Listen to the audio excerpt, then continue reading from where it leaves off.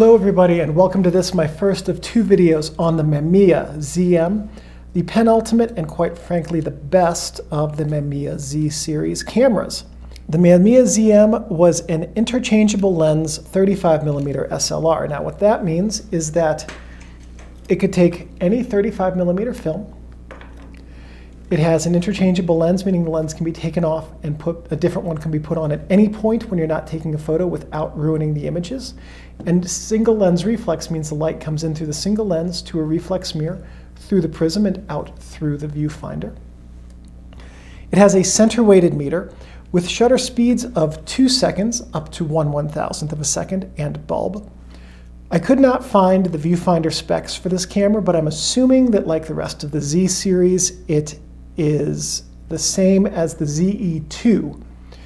And if that's the case, viewfinder magnification is 85%, uh, 0.85x, and the frame coverage is 94%. Now what that means is the 0.85 means what you see in here is 85% of the size of what will be on the film.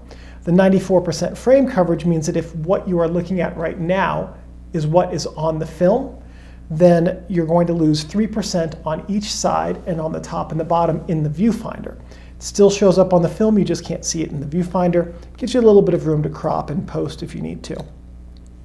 It has a fixed focusing screen with a split prism and uh, split prism central focusing area and a micro prism collar within a matte field. Basically the standard focusing screen of the 80s. And the flash sync speed on this camera is 1 60th, which we know because that's in yellow. It also has auto exposure lock and automatic exposure modes, uh, which are accessible in the shutter speed dial. The camera's target market was intermediate to entry level users. It's a fairly stripped down camera with relatively few features and it's missing some niceties like the mirror flipping up with a self timer and an exposure value uh, dial with partial stop settings. It only has full stop settings. So this was not a professional use camera. You can also tell by the build quality of it. But for this was just this was intended realistically for casual shooters. It's essentially a full manual, fully manual camera with the ability to have aperture priority shooting. It also lacks many of the features of the higher spec ZEX, like shutter priority mode and a shutter dial A mode lock, meaning that in automatic mode, there's no lock for this camera. Interestingly, the film winder electronic connection on this camera only has four of the eight contacts, and there's no rewind coupling for the winder on the camera, uh, only in advance. The ZEX, by comparison, has a rewind coupling on it. So I said that this was the penultimate and best, and the reason it's the best is because it's also the most reliable today. The ZE, ZE2, and ZEX uh, I have gone through multiples of all of those trying to get ones that work to make videos for this channel. So far, the only one I've successfully done is the ZEX. The ZM has a much better reputation for being reliable today than any of the other Mamiya Z bodies. So even though it's missing a few features, if you want a camera that's going to work, this is going to be your best bet. It was made by the Mamiya Camera Company in Japan from 1982 until no later than 1984. Couldn't find exactly when it went out of production, but we know it was before 1984 because that's when everything Mamiya 35mm went out of production. It was preceded by the ZE2, which this built upon and added some of the ZEX's features too. So in terms of specs, it kind of splits the difference between those two. It was concurrent with the ZE, the ZE2 and the ZEX, as well as some of the Mamiya medium format cameras. And it was followed by nothing because at the end of this camera's production run, there were no more Mamiya 35mm cameras. So let's go over the camera's features as we do, starting technically on the front with the strap lugs right here. This is what you would connect your camera strap to. Film rewind knob and lever right here. This is your uh, ASA ISO dial right here, which you lift up to adjust the setting for. and then your exposure value compensation dial right here. Flash, oh, your index right here as well for how what your exposure compensation is. Flash hot shoe, shutter speed index, shutter speed dial, shutter button, film advance lever, frame count window and frame index, self timer, lock, and uh, unlock ready to shoot button. And this is your uh, cable release port right here. On the front of the camera, we have the self-timer light, lens mount. Your lens mount index is that little red dot right there. And the lens release is this button over here. On the camera's back, we have a film memo holder. So when you get your film, you tear the top of the box off and you slide it in there to remember what kind of film you have. And then we have the viewfinder window there. On the camera's bottom, we have the battery chamber, the film winder mechanical coupling, film rewind release, film winder electronic contacts, tripod socket, Mamiya Japan, and the camera's serial number right here.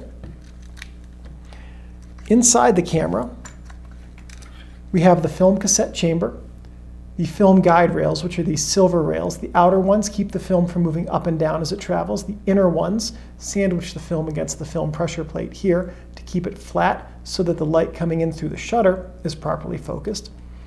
Film tension sprocket, which helps guide the film through the camera as it moves and also keeps it from being pulled back by the film's spring memory.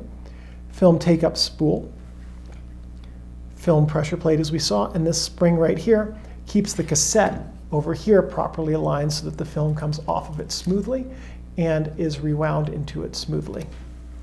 Some notes on your Mamiya ZM. The ZE series cameras were the first with lens to body electronic contacts for transmitting information between both units, not just from the lens to the camera, but back and forth. The, Z, uh, the ZM entered production with a series of lenses specifically for the ZM. Those were the Mamiya Sekor ES lenses, indicated by an S on the filter ring like this right here. And these have one fewer electronic contacts than the previous lenses, which were the E and the EF lenses. So my best guess on these is that, let's take a look at the back of the lens. You can see there are four electronic contacts right here. Previous lenses had a fifth one between this contact and that little screw right there. My best guess is that the fifth contact wasn't needed and it provided some functionality that wasn't going to be used as planned between the lens and the camera and subsequent cameras that were supposed to have been released after this. The ZEX was the only of the ZE series cameras that used these secondary pins as well. What all of them were used for, I couldn't tell you. I know they communicated aperture. Um, not sure. I don't think that they communicated distance. Um, and I couldn't even tell you exactly what information they communicated back and forth with each other. So unfortunately, one of the things is that when these went out of production, most of the information about them has largely been lost. Some things not to do with your camera.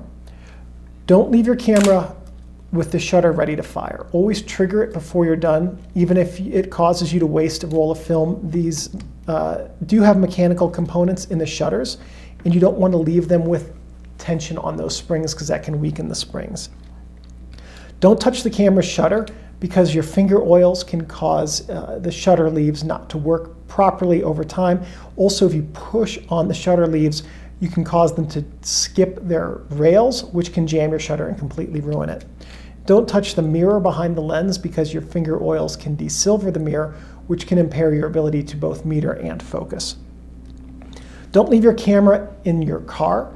The heat can cause lubricating oils to get onto the ap aperture in the lenses, and when, because the oils will get thin and when they get back to their proper viscosity, the aperture won't work properly. Also, cold can cause the lubricating oils in the camera and lens to break down and become gummy, causing things not to work. And just leaving your camera in your car is a good way to get it stolen and have your car broken into. You don't want to do that. Don't store your Mamiya ZM in a plastic bag or box because water does permeate plastic and it can cause fungus to grow in the lenses, and some mildew can grow in the covering as well. Don't let your Mamiya ZM get wet. It's not weather sealed and water will short out and ruin the electronics in it. And just remember that your Mamiya ZM is a precision tool and should be handled with care and respect. As long as you take care of your camera, your camera will take care of you. So that's it on the first of my two videos about the Mamiya ZM. In this video, we just looked at what everything is. In the next video, we're going to look at what all of it does and talk about how to use the different functions on this camera to take photos. Thank you for watching this video. Please give me a thumbs up. That lets me know that I'm on the right track producing content which is useful and helpful to you. If you have any questions or comments, please leave those in the comments section below. I'm pretty good about checking these every couple of days and answering questions. If you have any suggestions or ideas for future videos, and if I have the technical know-how and equipment, I'm more than happy to make those. One last thing. Thank you everyone for watching, and I'll see you in the next video. I got to get up, Steinbeck. I have to turn off the camera.